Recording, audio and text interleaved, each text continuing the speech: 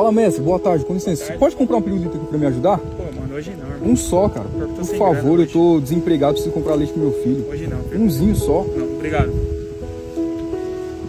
Moça, boa tarde, com licença. A senhora pode comprar um pirulito pra me ajudar? Hoje não, moço. Por gentileza, por favor. Eu Eu preciso. gostaria de te ajudar, mas hoje Eu não tô desempregado, meu filho tá sem leite, eu preciso vender esse pirulito pra comprar o leite pra ele. eu não Um só. Um pix. Moça, boa tarde, tudo bem?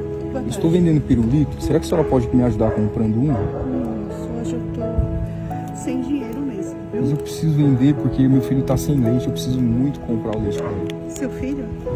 Olha, moço, eu tenho dinheiro da minha conta de luz. Tá bom? Eu vou comprar um, um só pra te ajudar, tá bom? Tá bom, um só já me ajuda. Tá bom. Eu tenho tudo isso aqui pra vender ainda e meu filho tá passando fome. Tá bom, tá aqui no fundinho da bolsa, tá? Não, não, a senhora não precisa pegar. A senhora vai comprar? Tem certeza? Pra te ajudar. Pra me ajudar? Sim, Por que a senhora quer me ajudar? moço. A vida não é fácil. E você não tem noção do que eu já passei e precisei fazer pra criar meus filhos. Eu sei a sua situação, eu te entendo, viu? Você não sabe. Quando meu marido me deixou e ele me abandonou, eu tinha três crianças.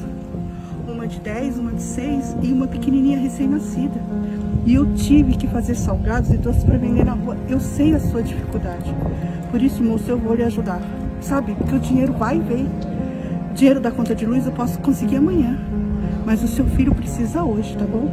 Então deixa eu te ajudar. Sim, mas eu acho que a senhora não precisa me ajudar com esse valor agora. Por que não? Porque quando a senhora começou a contar a história, teve que vender salgados, né? Sim, Pra cuidar dos seus filhos. sim. Só que a senhora podia só me ajudar contando um pouquinho mais a sua história?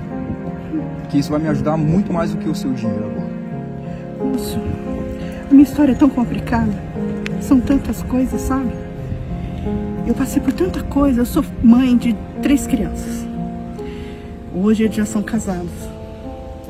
Mas o meu mais velho era esquizofrênico e se suicidou. O meu filho do meio, ele é atípico. É, é autista. E o meu pequeno, hoje ele já é um homem. Mas ele tem TDAH. Então foi muito difícil criar meus filhos. Eu precisei ter muitos empregos, trabalhar mais do que eu podia, levantar de madrugada e não ter hora para dormir, para dar o melhor para eles. Infelizmente nessa batalha eu perdi um filho, mas o meu filho que é autista hoje, ele é pai, ele é casado e tem dois filhos. Sabe, ele faz mais uma faculdade, ele já se formou e faz mais uma faculdade. O meu outro filho com TDAH, o menino é incrível. Hoje ele é segurança, trabalha, ele tem um filho, uma casa uma família. Em tudo isso eu louvo a Deus por ter me dado coragem para levantar muitas noites sem dormir fazendo salgados para vender na rua. Por isso eu entendo a sua luta e confia, porque o teu filho vai crescer e vai ser forte, vai ser um homem, porque Deus é bom o tempo todo. Obrigado. Sua história vai me ajudar muito mais do que o dinheiro que a senhora ia me dar agora. E, na verdade, eu não tô vendendo nada. Como não? A, a nossa ideia aqui é um experimento social. É encontrar pessoas que têm um coração bom em ajudar, é, mesmo sem ter nada em troca. O que a senhora ia receber era só um pirulito.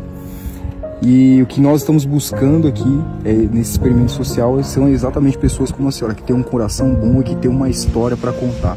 Então a minha ideia, na verdade, é te ajudar com esse valor aqui. Moço, não precisa, obrigada. Não, que Deus te abençoe, preciso viu? te dar esse valor aqui. Meu Deus, você não imaginava.